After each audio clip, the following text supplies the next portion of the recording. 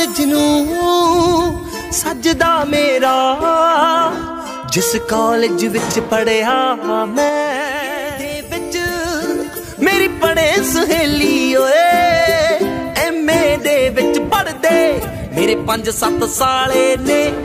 College ਦੀ ਜ਼ਿੰਦਗੀ ਦੇ ਦਿਨ ਚਾਰ ਹੀ ਭੁੱਲਦੇ ਨਾ। ਸੁੱਖ ਨਾਲੇ ਆਪਾਂ ਤਾਂ 5 ਸਾਲ ਹੀ ਗਾ